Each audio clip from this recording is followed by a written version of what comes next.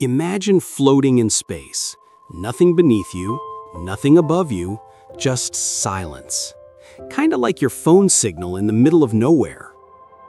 Astronauts who step outside their spacecraft aren't just taking a stroll, they're drifting in the ultimate void. No sound, no air, just Earth spinning silently below, and endless darkness stretching forever. Every movement is slow, careful, because one wrong push and you could drift into nothingness. It's mysterious, it's terrifying, and it's beautiful.